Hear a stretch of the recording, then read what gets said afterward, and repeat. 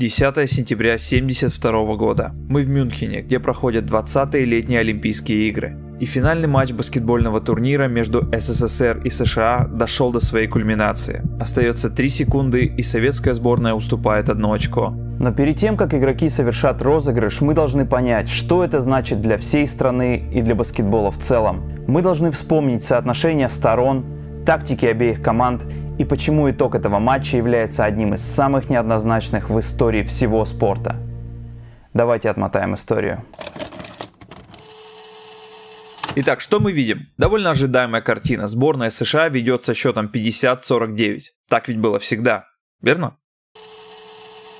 С тех пор, как американский преподаватель Джеймс Нейсмит в 1891 году придумал баскетбол, прошло уже почти 100 лет, но сборная США до сих пор была непобедима. Оно и понятно почему. Баскетбол был одним из самых популярных видов спорта в Америке. В каждой школе, в каждом дворе были баскетбольные кольца. В баскетбол начинали играть с самого детства. В 1936 баскетбол впервые стал частью Олимпийских игр. И надо сказать, что американцы подходили к этим играм довольно серьезно. Сборная США не проиграла еще ни одного матча на Олимпийских турнирах. 63 победы, 0 поражений. И вполне понятно, почему в 64-й игре они ведут в счете. Однако, как бы идеально не были американцы, все же сборная СССР тоже была не последней командой. На тот момент советские баскетболисты были сильнейшими в Европе и вторыми в мире. С другой стороны, есть нюанс, о котором не часто вспоминают. В те годы Олимпийские игры были организацией любительского спорта. То есть в играх нельзя было участвовать профессионалам, которые получают деньги за свои выступления. Это привело к довольно несправедливой ситуации, при которой игроки МБА не могли принять участие в играх, а советские профессионалы могли.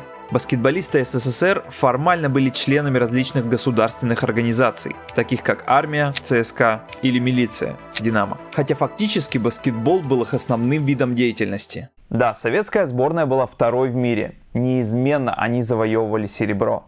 Отечка произошла только в Мехико, и это имело свои последствия. На Олимпийских играх 68 года сборная СССР завоевывает бронзу, а потом на чемпионате мира по баскетболу 70 -го года тоже оказывается третий. Тогда это считалось провалом. Несколько неудач подряд приводят к отстранению главного тренера Александра Гомельского, который тренировал сборную почти 10 лет. На его место назначили тогдашнего тренера ленинградского «Спартака» Владимира Кондрашина. Как оказалось, это было правильное решение. Ошибки Гомельского были учтены и хорошо проработаны. Уже в 70-м на универсиаде в Италии советская сборная завоевывает золото, а также на чемпионате Европы 71-го тоже становится чемпионом. Взгляды на игру Гомельского и Кондрашина кардинально отличались. Главное отличие было в тактике, причем как в защите, так и в нападении. Ключевым изменением стало ускорение темпа. В те времена на атаку давалось 30 секунд, а не 24, как сейчас. И тренерам было решено в среднем на атаку тратить 17-19 секунд. По тем временам это был очень быстрый баскетбол. Для большинства команд того олимпийского турнира такой темп был очень неудобен.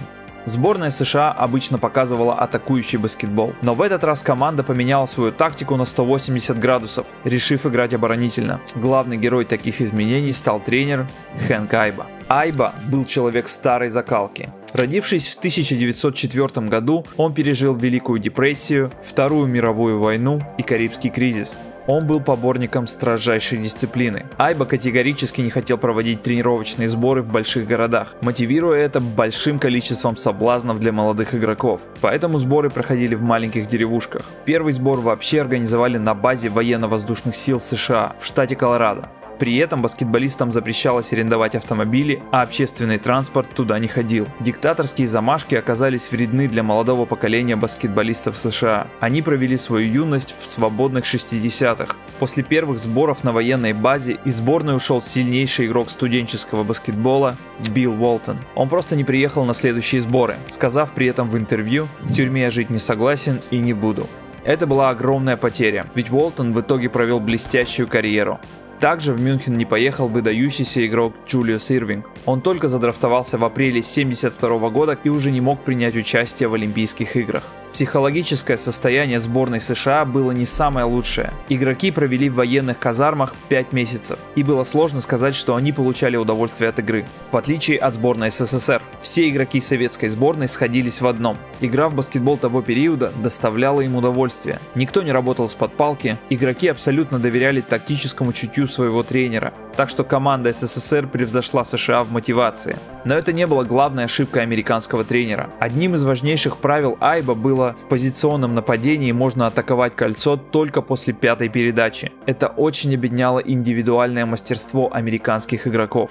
И сейчас будет немножко сложно, не отключайтесь, постарайтесь понять. 11 из 12 игроков сборной США были игроками колледжей, а в те годы по правилам колледжного баскетбола не было ограничений по времени на атаку. Фактически, атака одной команды могла длиться до конца игры. В отличие от правил FIBA, в олимпийском турнире на одну атаку давалось 30 секунд. Американские игроки привыкли играть в гораздо медленный баскетбол. И СССР со своим быстрым темпом опять был в выигрыше. И еще одна вещь. Тренер Кондрашин по возрасту и по занятости был на пике своей формы, а 71-летний Хэн Кайба уже 4 года никого не тренировал. Сборная СССР, проведя 5 тренировочных сборов и 12 товарищеских матчей, была полностью готова и отправилась в Мюнхен. Олимпийский турнир проходил по плану. Американская сборная без проблем добралась до финала, так же как и советская. Единственная команда, которая заставила попотеть СССР, это была Куба в полуфинале, но и с ней удалось справиться. Вся Олимпиада в целом складывалась очень удачно для СССР. Ближе к концу всем стало ясно, что в медальном зачете советская сборная будет на первом месте. У США оставался последний шанс избежать осуждения на родине – победой в финале баскетбольного турнира. Так вроде про все сказал, тактика, тренеры. Ах да, Холодная война. Хоть время Брежнева было некой разрядкой в отношениях между СССР и США, но все же противостояние никто не отменял. Оно шло не с помощью ракет и автоматов, а на международных спортивных соревнованиях. Только что отгремела первая половина хоккейной суперсерии между Канадой и СССР. Канада ведь тоже была частью западного мира была и прискорбная сторона этого противостояния. После печально известного теракта, совершенного над израильскими спортсменами, на Олимпийском стадионе была проведена панихида по погибшим. Пожалуй, единственная делегация, ни один член из которой не присутствовал, это была делегация СССР. Руководство страны решило никого на церемонию не отправлять, так как Советский Союз не признавал государство Израиль. Таким образом, наши спортсмены были лишены возможности выразить свои чувства и соболезнования по поводу гибели израильских спортсменов и тренеров. Состояние было гнетущим но все же матч надо было играть.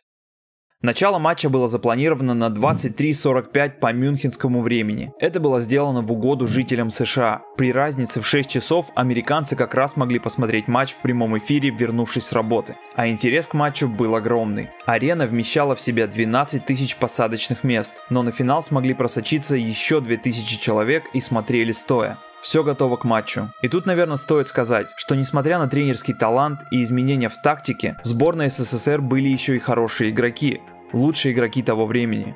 В первую очередь, это Сергей Белов. Начиная с первого года выступления за сборную, он становится одним из ее самых результативных игроков. Белов постоянно тренировал свой бросок, отрабатывал приемы по сотни раз, ежедневно. Его можно было назвать лучшим советским баскетболистом своего поколения. Настоящая звезда чемпионата СССР. Александр Белов. Кстати, не родственник Сергею Белову, просто однофамилец. Невероятно прыгучий, имел высочайший баскетбольный интеллект. Зураб Саканделидзе обладал отличными скоростными качествами, умел сплачивать партнеров по команде. Модестас Паулаускас был капитаном сборной. Он мог в 2-3 слова сказать партнерам, что делать и как играть, чтобы добиться победы. Но впервые в олимпийском турнире он не появился в стартовой пятерке. Вместо него тренер выставил Михаила Коркию. И это было не случайность. Коркия был гораздо быстрее Модестеса. И план Кондрашина был убежать от американцев в быстрый прорыв или раннее нападение. Первые минуты проходили под полным доминированием сборной СССР. К середине первого тайма преимущество советской сборной уже стало двузначным. Но к перерыву американцы смогли сократить разницу до 5 очков. Наши игроки шли в раздевалку с высоко поднятыми головами. Они переиграли американцев по всем статьям. Сергей Белов успел забить 13 очков за первую половину. Это больше, чем кто-либо из обеих команд.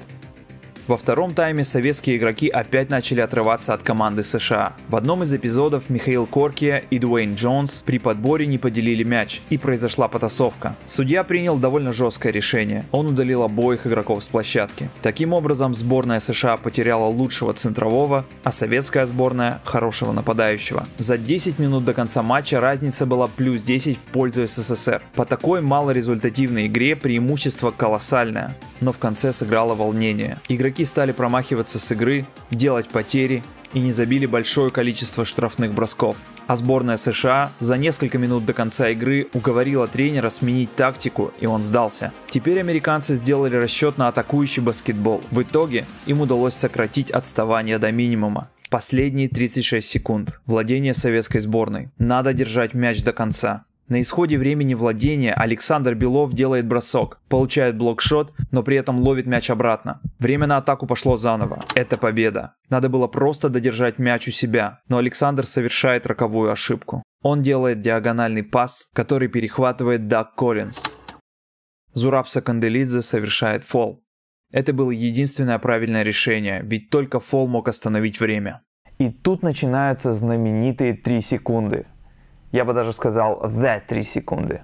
Американский игрок реализует два важнейших штрафных броска для своей сборной. Сразу после забитого мяча Коллинза советские игроки совершают ввод мяча, и тут же игра прерывается. Оказывается, тренер Кондрашин взял тайм-аут еще до того, как мяч был введен в игру. В те годы взять тайм-аут можно было благодаря специальной кнопке. Но лампочка на столике судей либо не зажглась, либо в порыве игры ее просто не заметили. Это была судейская ошибка, и они должны были вернуть оставшиеся 3 секунды на табло. Но рефери из-за того, что они были разных национальностей, с трудом понимали друг друга. И произошла заминка. Нужное время забыли установить. Поэтому при втором вводе мяча сирена прозвучала буквально сразу, как мяч попал в руки советскому игроку. Игроки США празднуют победу, но все еще не закончено. Судьи уверяют, что произошла техническая ошибка, и советская сборная не сыграла положенные им 3 секунды. Не сразу, но все-таки американские игроки вышли на площадку доигрывать матч. И перед самым вводом мяча произошел очень примечательный момент. Судья очертил линию и напомнил защитнику американской команды, что нельзя пересекать это пространство. Но он неправильно понял этот жест, решив, что ему было сказано отойти. И у Ивана Едешка оказалось свободное пространство, чтобы чтобы сделать длинный пас. До начала этого матча никто не мог подумать, что США способны кому-либо проиграть. С течением многих обстоятельств, таких как смена советского тренера с его новыми взглядами на баскетбол, более свободная и дружелюбная атмосфера в команде и ряд выдающихся игроков привели к тому, что СССР на протяжении финальной игры выглядели фаворитами. Весь матч советская сборная была впереди и, пожалуй, больше заслужила победу. Правда, кого это волнует, если американцы все-таки вышли вперед за 3 секунды до сирены?